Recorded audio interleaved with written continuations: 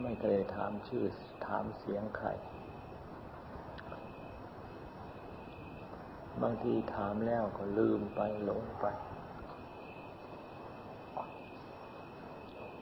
บางทีเรียกชื่อเรียกชื่อ เวลาจะนึกชื่อขึ้นมาเรียกจะเรียกจริงๆ นึกไม่ออกนึกไม่เห็น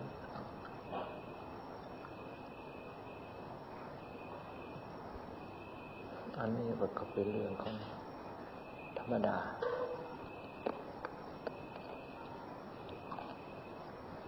บางคนก็ความจำดี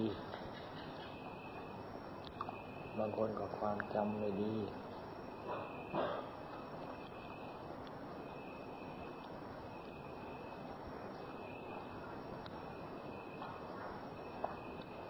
จะความจำดี หรือความจำไม่ดี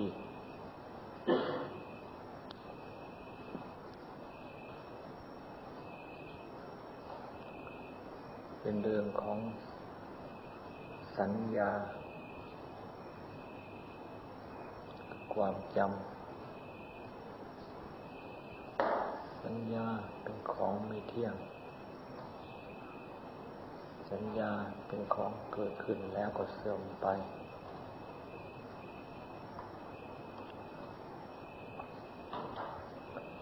เกิดขึ้นแล้วก็ดับไป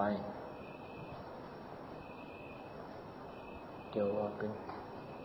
ขันส่วนใดๆก็ช่างขึ้นว่าขึ้นชื่อว่าขันแล้ว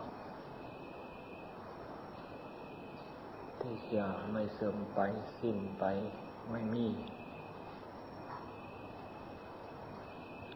ท่านจึงว่าสัพเบสังขารา สังขารทั้งหลาย ที่ของเกิดขึ้นและดับไป จะสมมติกันเรียกว่าเป็นรูป จะสมมติกันเรียกว่าเป็นเวทนา จะสมมติกันเรียกว่าเป็นสัญญา จะสมมติกันเรียกว่าเป็นสังขาร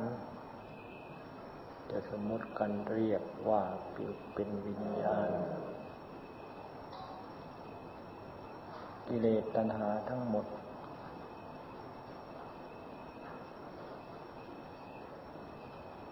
เป็นของเกิดขึ้น อาศัยเหตุปัจจัย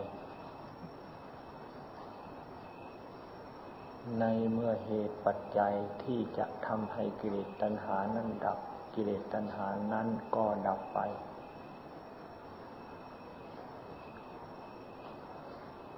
กิเลสตัณหานั้น ก็สรุปลง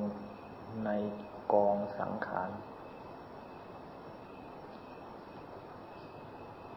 อาการของจิตที่เป็นส่วนกุศลส่วนอกุศล เป็นสังขารทั้งหมด เรียกว่าปุญญาพิสังขารอปุญญาพิสังขาร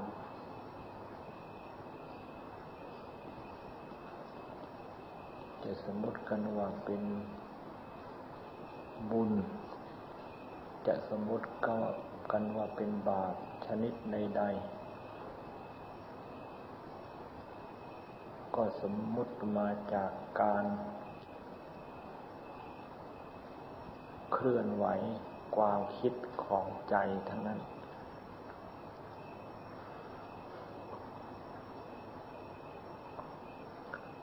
ระพุทธเจ้าท่านให้ละ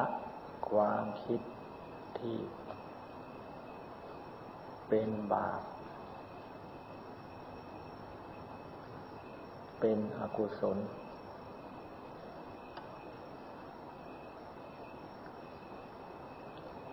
ละความคิดที่เป็นบาป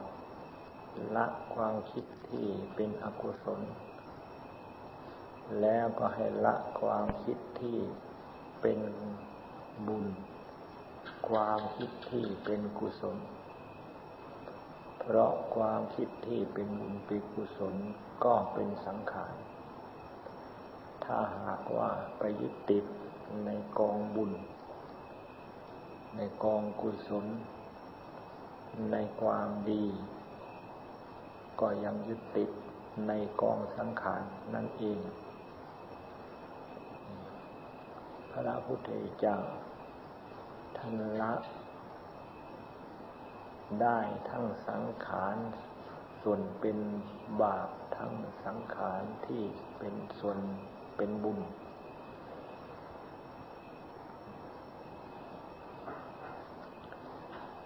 การปฏิบัติธรรมนี่คำว่าอารมณ์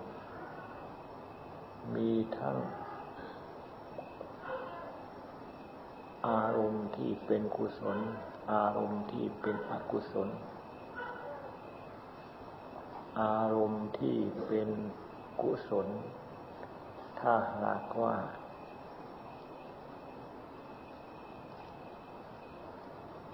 ยังคงข้างค้าง อยู่ในจิตในใจ อันนั้นก็เป็นอารมณ์ของใจ ก็ให้ปล่อยอาปล่อยวางอารมณ์ที่เป็นกุศลนั่นเสีย ในเมื่อใจว่างจากอากุศลว่างจากกุศล ใจก็ยังเหลือ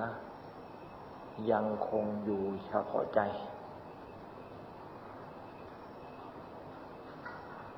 ธรรมะคำสอนของพระพุทธเจ้า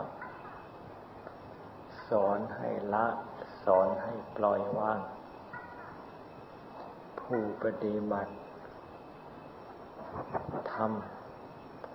ำชอบมีความต้องการ ชอบมีความปรารถนา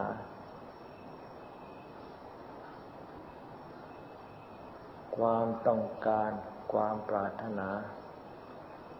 ถึงจะต้องการ จะปรารถนา ส่วนกุศลส่วนเป็นคุณธรรม แต่ความปรารถนานั่น ก็ยังเป็นความปรารถนาอยู่ ให้ละความปรารถนานั่นเสีย เพราะ ธรรมะคำสอนของพระพุทธเจ้า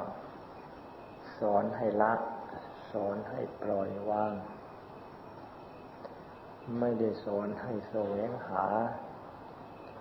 อะไรมาเพิ่มเติมธรรมศีล ก็ไม่ต้องไปหาศีลมาเพิ่มเติมคำว่าสมาธิ ก็ไม่ต้องไปหาสมาธิมาเพิ่มเติม คำว่าปัญญา ก็ไม่ต้องไปหาปัญญามาเพิ่มเติม เพียงแต่ละ บาป ละความชั่ว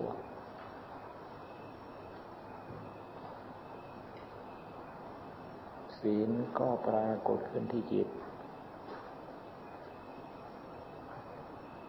ละบาปละความชั่ว บาปอย่างกลาง บาปอย่างยาบ แม้แต่บาปเป็นส่วนละเอียดก็ให้ละ ในเมื่อศีล ในเมื่อจิตไม่มีบาปอย่างหยาบอย่างกลางอย่างละเอียด ศีลจิตที่ไม่มีบาปละบาปในนั้น นั่นละเป็นศีล ศีลไม่ต้องไปอยากให้ไม่ต้องไปอยากได้ ไม่ต้องไปหาแสวง ไปแสวงหาอะไรที่ไหน เพราะใจของเราเป็นศีลอยู่แล้ว สีเลนะสุขติเงินติ อะไรเรามันสุขเป็น อะไรเล่ามันทุกเป็น จิตเท่านั้นเป็นสุขเป็น จิตเท่านั้นเป็นทุกเป็น ในเมื่อจิตของเราปล่อยวางบาปได้ได้ จิตของเราไม่เป็นทุกข์เพราะไม่มีบาปทำให้เกิดความเดือดร้อน สีเลนะทุกขติงยันตี ละบาปได้แล้วจิตอยู่เป็นสุข จิตของเรานี่แหละเป็นศีล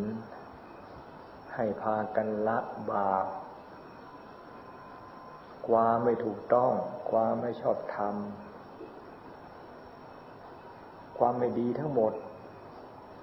ล้วนแล้วแต่เป็นบาป ถ้าหากว่าเราไม่ละ บาปนั่นนั้นจะทำให้ใจของเราเป็นทุกข์ ในเมื่อเราละบาปได้ บาปไม่มีในใจ ใจของเราก็ไม่เป็นทุกข์ เพราะบาปที่ทำให้ใจเป็นทุกข์ไม่มี ใจของเราก็เป็นศีลขึ้นมา เพราะรับบาปไปแล้ว คำว่าสีเลนสุขติยันติ จิตของเรานี่แหละเป็นสุข เพราะจิตของเราละบาปได้ สมาธิจิตตั้งมั่นสมาธิก็จิตนี่นะเป็น ละให้หมด อะไรที่มันค้างค้างอยู่ในใจ อิทธารมสิ่งที่เราสิ่งที่ถูกใจเราสิ่งสิ่งที่เราชอบใจ สิ่งที่เราพอใจ สิ่งที่เรารักใคร่สิ่งที่เราต้องการปรารถนาไละให้หมด สิ่งที่เราชอบใจ สิ่งที่เราไม่ชอบใจ ก็ละให้หมด ในเมื่อสิ่งที่ชอบใจ ไม่ชอบใจไม่มีอิทธารมอนิธารมใจของเราปล่อยวางได้ ใจของเราก็เป็นสมาธิคำว่าการฉัน กามในชั้นก็เป็นอิทธารมพยาบาทก็เป็นอนิธารมถีนมิทะ จะจัดว่าเป็นอิทธารมก็ได้ก็ใช่ อุทจักกุกุจะจะจัดเป็นอนิธารมก็ได้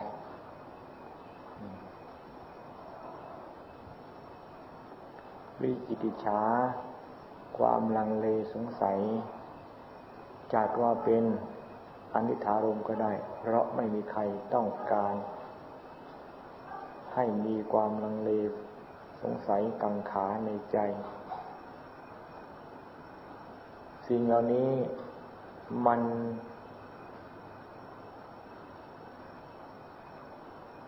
เกี่ยวพัน สิ่งเหล่านี้มันผูกพัน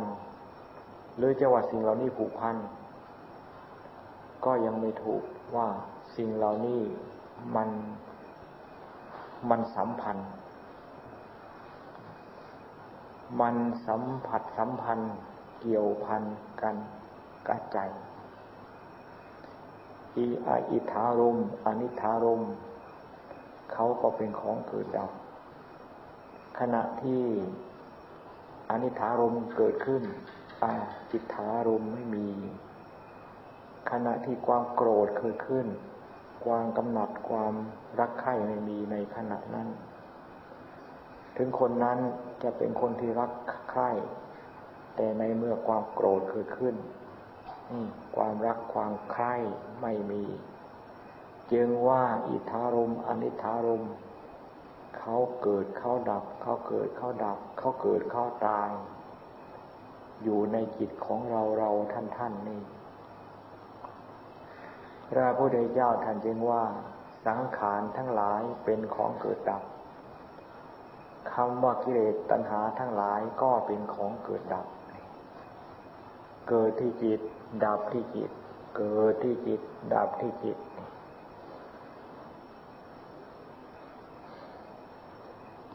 ถ้าหากว่าใจของเราไม่เข้าใจไม่รู้จักว่าของเรานี่เป็นของเกิดของดับ เกิดขึ้นมา เราก็ว่าเป็นเรา กามมาฉันเกิดขึ้นมา ก็ว่ากามาฉันนั่นเป็นเรา เป็นจิต พยาบาทความโกรธ เกิดขึ้นมา ก็ว่าพยาบาทนั่นเป็นเรา เป็นจิต ความจริงเป็นอกุศลจรเข้ามา เป็นบาปจรเข้ามา เป็นยักษ์เป็นมารจรเข้ามาทั้งนั้น หรือว่าเป็นกิเลสจรเข้ามา หรือว่าจะใจของเราจรออกไปเจอ ออกไปสัมผัสกับกิเลสนั้นๆก็เกิดเป็นฟืนเป็นไฟขึ้นมา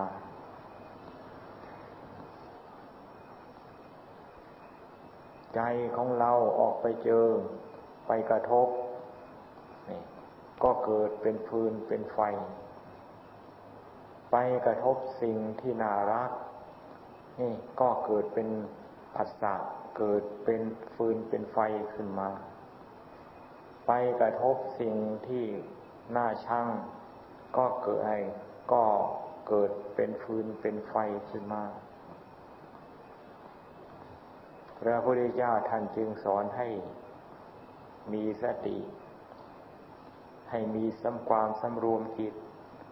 สำรวมไว้ให้ดี อย่าให้ใจของเราออกไปเที่ยวสัมผัสกาของร้อนสัมผัสกาฟืนกาไฟ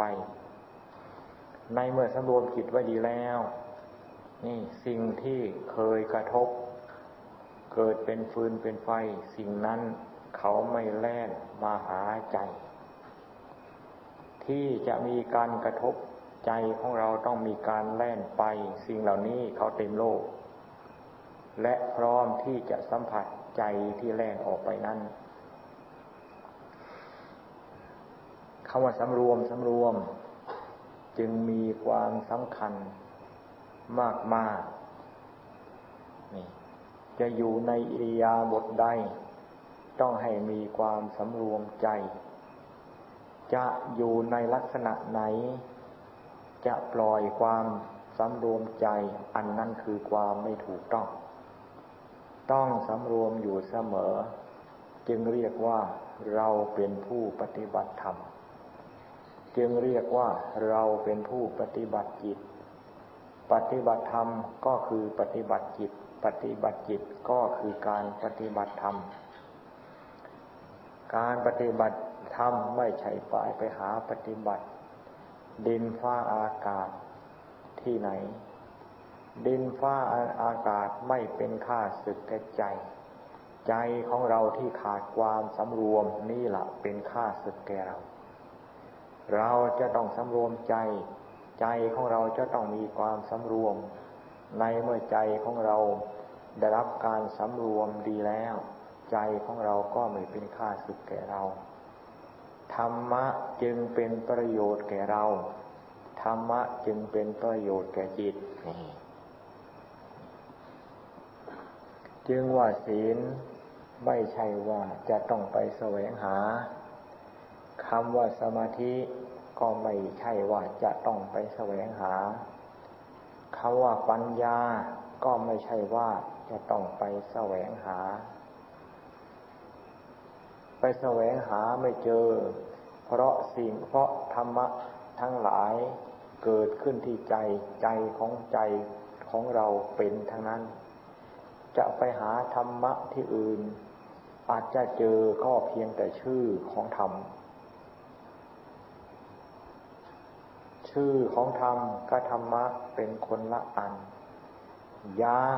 ก็ชื่อของยาก็เป็นคนละชิ้นคนละอัน แสวงหาธรรมะนี่ถ้าหากว่าไปแสวงหาที่อื่น นอกจากที่จิต ถึงจะเจอธรรมะ ก็เจอแต่ชื่อ ชื่อของยาไม่สามารถที่จะรักษาโรคให้หายชชื่อของธรรมะก็เช่นเดียวกัน ไม่สามารถที่จะทำลายกิเลสที่มีอยู่ในจิตในใจของเราได้ ถ้าหากว่าเราแสวงธรรม จนกระทั่งใจใจของเรานี้สมบูรณ์โดยธรรม จนกระทั่งธรรมปรากฏขึ้นที่ใจ ใจของเราสมบูรณ์ด้วยธรรม ธรรมะธรรมชาติ เป็นธรรมที่กำจัดกิเลสเมื่อใจของเราสมบูรณ์ด้วยธรรมขณะใด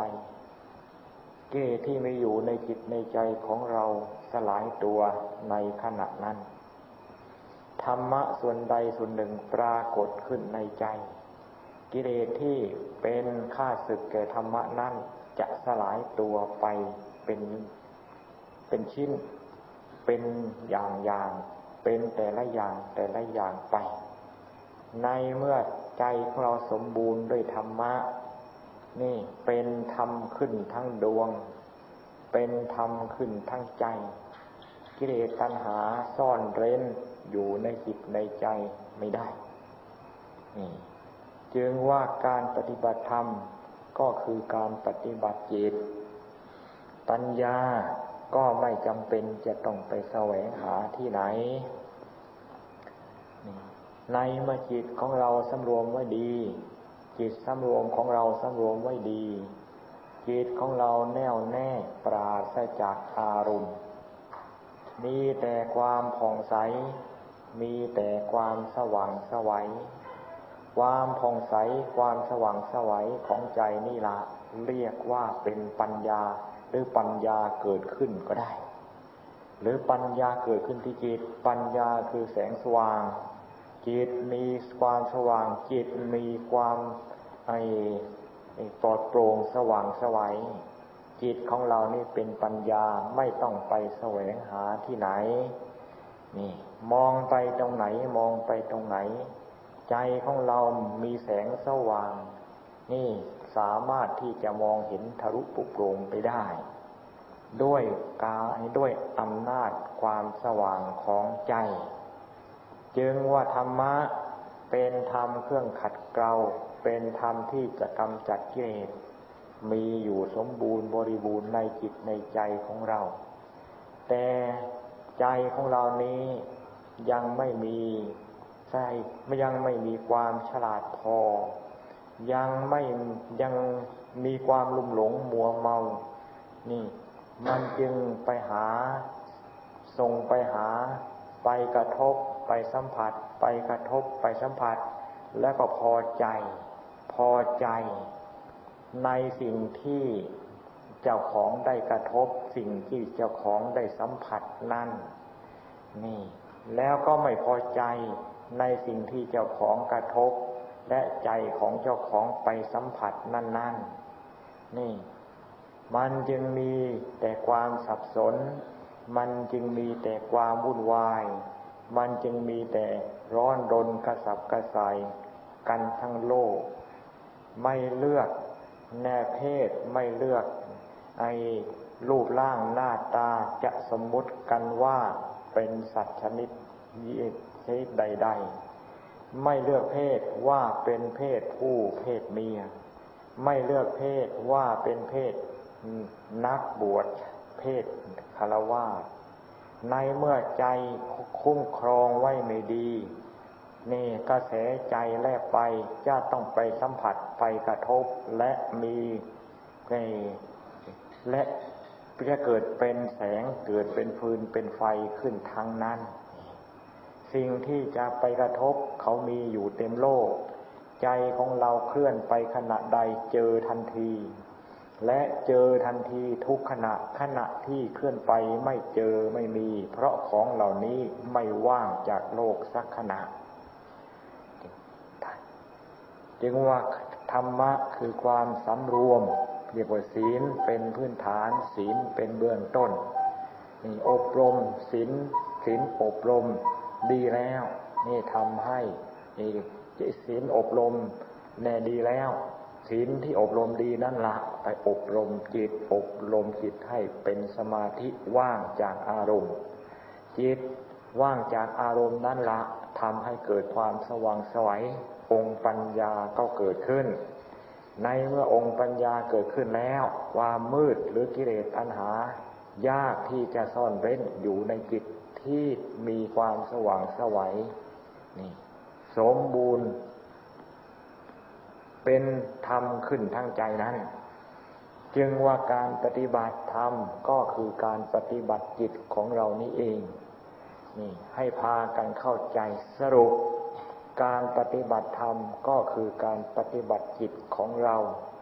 ถึงเช่นเดินยงกรมนั่งสมาธิพิจารณาเกซ่าลงมานะค่าดำตา อันนี้ก็เป็นอุบายของการรักษาจิต เป็นอุบายของการปฏิบัติจิตนี่อุบายของเรียกว่าเป็นอุบาย เพราะทำไมจึงต้องพิจารณาเกซ่าลงมานะคาดันตาแต่โจเล่า ก็เพราะสิ่งเหล่านี้ใจของเราออกไปสัมผัสไปกระทบ และเป็นฟืนเป็นไฟอยู่ตลอดเวลา นี่ ที่เอาที่ไปกระทบ และสมัยผลของการกระทบร้อนเป็นฟืนเป็นไฟนั้น ก็เนื่องจากว่าเราว่ากายอันนี้เป็นเรา กายอันนั้นเป็นคน กายอันนั้นเป็นเขา กายอันนั้นเป็นตัวเป็นตน ถ้าหากว่าชัดตามความเป็นจริงของผมขนเล็บฟันหนังแล้วคำว่ากายคำว่าคนคำว่าเราคำว่าเขาไม่มี แล้วกระแสของใจจะไปซ้ำเคลื่อนไปจะไปกระทบอะไรเล่า ถึงจะไปกระทบผมขนเล็บฟันหนัง อันนั้นก็ไปกระทบกษัตริยธรรม ไปกระทบกับอนิจจังทุกขังอนัตตา ไปกระทบกับกองมูดกองคูด ไปกระทบกับกองเกิดกองตาย นี่ไม่ไปในเมื่อไปกระทบกับกระทบกับกองธรรม นี่ถึงจะมีการสัมผัสแต่ธรรมะ ใจสัมผัสธรรมะ นี่จะทำให้ ผลจะทำให้เกิดความร้อนเป็นฟืนเป็นไฟไม่มี มีแต่ที่จะทำให้เย็น มีความร่มเย็นเป็นสุขอย่างเดียวเท่านั้น อันนี้ก็เป็นการปฏิบัติจิต คือการพิจารณาเกซาโลมานาคาดันตา หรือพิจารณาพระกรรมฐาน จึงว่าเดี๋ยวนี้ธรรมะอุบาย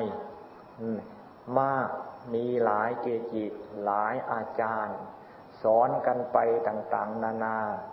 ตามที่เจ้าของเคยในได้ศึกษาและเคยดำประพฤติปฏิบัติมา นี่ใครเรียนมาทางนั้นในลักษณะใด ก็สอนไปที่ตามเจ้าของได้เรียนและศึกษาปฏิบัติมานั่นนี่เกจิอาจารย์ นี่ก็สอนไปตามระดับชั้นภูมิที่เกจิอาจารย์นั่นนั่นมีอยู่เกจิอาจารย์ที่จะสอนเกินภูมิก่อนสอนเกินสติปัญญาที่จ้าของมีอยู่เป็นไปไม่ได้ จึงว่าในเมื่อมีมากมายไก่กอง ถึงเกจิอาจารย์นั้นยังไม่สรุปเข้าถึงธรรมธาตุของธรรมแท้ ก็ยัง ยังรัวยังสรุปลงเป็นอันเดียวกันไม่ได้ ถ้าหากว่าสรุปลงเข้ามา ถึงธรรมที่เป็นไทยไทยธรรมะแท้นี่ทุกสิ่งทุกอย่าง จะหลักการวิธีการใด ๆ นี่เอามาเป็นหลักการดำเนินหลักการปฏิบัติได้ทั้งนั้น เพราะเพียงแต่ว่าเป็นวิธีการเท่านั้น อันนั้นไม่ใช่ทำแล้วเอา ทำแล้วก็ปล่อยวางไปเหมือนการเดินทาง เราจะเดินทางไปในสายไหนชื่ออันไหนชื่ออันไหน เราก็ไม่ได้เก็บเอาถนนน้นทาง นี่ใส่รถใส่ราง หรือใส่ย่าม ใส่ตะกร้าติดเนื้อติดตัวไป เพียงแต่เดินผ่านเดินผ่านเท่านั้นเจ้าว่าเป็นธรรมะข้อใดๆนี่ธรรมะบาทใดคาถาใด อันนั้นเพียงแต่ว่าเป็นข้อปฏิบัติเป็นหลักดำเนินเป็นหนทางดำเนิน จะว่ามันสมมติว่าเป็นศีล เราก็ไม่ได้เอาศีล สมมติว่าเป็นสมาธิเราก็ไม่ได้เอาสมาธิ เราสมมติว่าจะสมมติว่าทางคือปัญญา เราก็ไม่ได้เอาปัญญา เราอาศัยของเหล่านี้เป็นเส้นทางที่จะเดินไป นี่เพื่อถึงจุดหมายปลายทางเท่านั้น นี่ข้อปฏิบัติใด ๆ ก็ช่าง ถ้าคนยังมีสติปัญญาแล้วสามารถที่จะเอามาใช้เป็นประโยชน์ และสรุปลง นี่ไม่มีการขัดแย้ง ไม่มีการแตกแยก นี่ไอ้ซึ่งกันและกัน เพราะทำเพราะจิตที่จะมาขัดแย้ง จิตที่จะมาแตกแยกไม่มี จิตที่จะมาขัดแย้ง จิตที่มาแตกแยกก็คือ ตัวกิเลสนั่นเองมามันจึงมีการขัดแย้งจึงมีต่ามการการแตกแยก ถ้าหากว่าตัวกิเลสมันมีไม่มีแล้ว จะเอาจิตที่ไม่มีกิเลสมาขัดแย้งมาแตกแยกมันเป็นไปไม่ได้จึงว่าวันหนึ่งวันหนึ่งนี่ผลของการปฏิบัติเราต้องทดสอบ ต้องมีการ ดสอบต้องมีการสอบผลของการปฏิบัติอยู่ เรานี่แหละจะเป็นผู้ที่สอบผลของการปฏิบัติสอบเราเอง ปฏิบัติได้แค่ไหนสอบได้เปอร์เซ็นต์มาสูงต่ำมากน้อย หรือว่าสอบตกอันนี้เป็นเรื่องของเราจะเป็นผู้ที่ตัดสินนี่ถ้าหากว่ามีแต่ สอบตกมีแต่สอบตกนั่นหมายถึงว่าเราจะต้องรีบแก้ไข จะต้องมีอะไรเป็นความบกพร่อง มีอะไรเป็นความไม่ถูกต้อง นี่ ในเมื่อเห็นความบกพร่องความไม่ถูกต้อง แล้วก็ให้แก้ไขความบกพร่องความไม่ถูกต้องนั้นเสีย นี่ ปฏิบัติถ้าหากว่าในปฏิบัติธรรมเพื่อการความก้าวหน้านี่ถึงถ้าหากว่าจะปฏิบัติ ไม่ความตกไม่เลยถ้าถึงว่าจะปฏิบัตินานปฏิบัติในระยะมากี่เดือนกี่ปีก็ช่าง ถ้าหากว่าความบกพร่องยังมีอยู่ในการปฏิบัติของเรานั้น อันนั้นความบกพร่องนั้นหลักเป็นกำแพงเครื่องกั้นนี่ต้องความบกพร่องใด ๆ ไม่มีคำว่าสีละสัมปันโน หมายถึงว่าสมบูรณ์โดยศีลความบกพร่องไม่มีนั่นเอง ถ้าหากว่ามีความสมบูรณ์ด้วยศีลอาจะศีลนี่อาจะศีลวัดนี่ทุกสิ่งทุกอย่างไม่บกพร่อง อันนี้ที่จะไม่เป็นไปไม่ก้าวหน้า เป็นไปไม่ได้ เพราะมรรคก็คือศีล นี่ใครมีสมบูรณ์ใครสมบูรณ์โดยศีลคนนั้นจะต้องก้าวหน้าไปทั้งนั้น เรียกว่ามรรคคือทางเดินก็คือข้อปฏิบัติ ถ้าหากว่าปฏิบัติถูกต้องสมบูรณ์ในศีล คนนั้นจะต้องก้าวไป ก้าวไปถึงถึงไหน ก้าวไปถึงจิต ก้าวไปถึงจิต จิตเป็นอย่างไร จิตที่ปล่อยวางอารมณ์ จิตที่อินิสอนิธารมไม่มี อิทธารมไม่มี การพยาบาการมาฉันพยาบาทถินมิทะ ความลังเลสงสัยไม่มี มีแต่จิตดวงเดียวสว่างสวัยสว่างกระจ่างแจ้ง แล้วเราจะไปรู้คำลังเลสงสัยอะไรนี่จึงว่าต้องตรวจสอบดูเราเสมอ ให้ผลของการปฏิบัติธรรมของเราก้าวหน้าก้าวหน้า ให้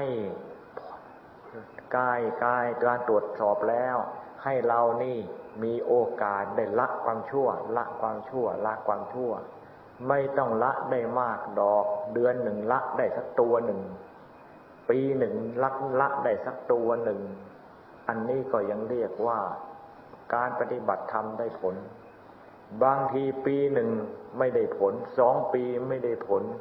หลายหลายปีก็ไม่ได้ผล ละสักตัวก็ไม่ได้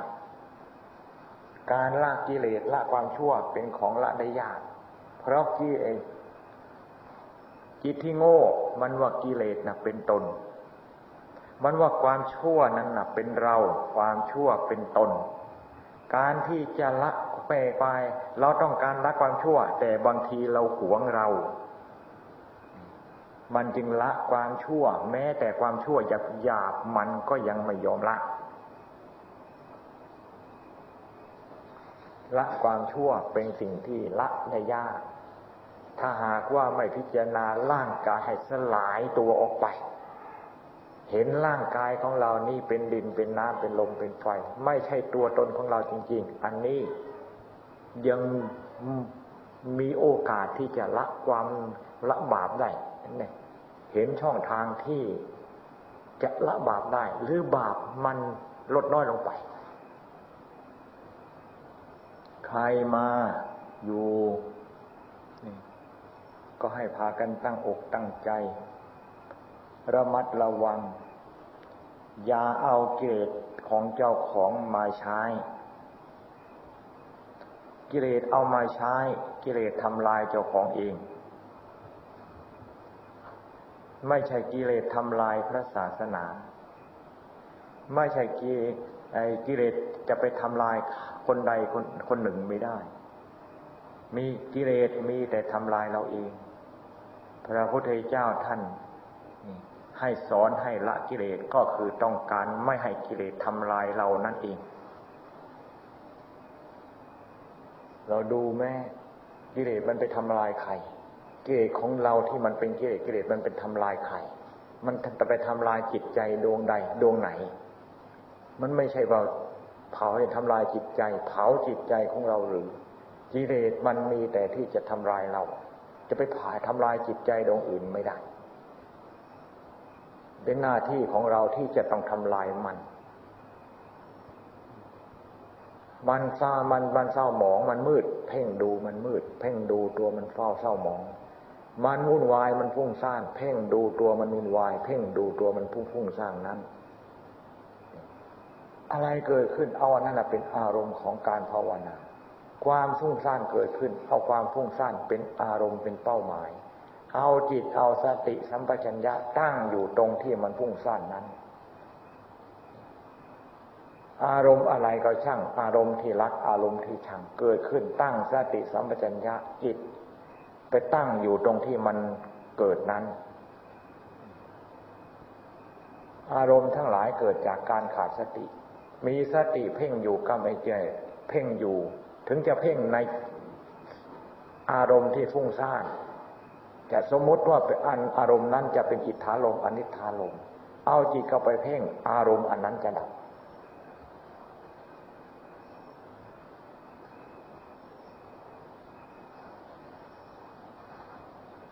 เพราะสิ่งที่เกิดขึ้นมันเป็นของดับเป็นทั้งนั้น สิ่งที่เกิดขึ้น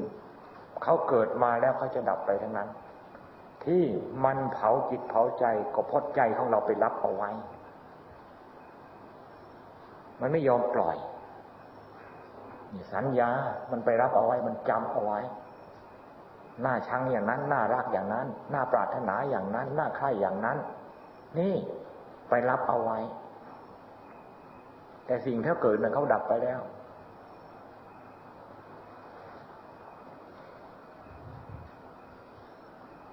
นี่ละหลายอย่างหลายแง่หลายมุม เป็นหลักการ ที่จะทำให้พากันตื่นตัว ไม่ลุ่มหลงมัวเมาในเรื่องสังขารของเจ้าของกัน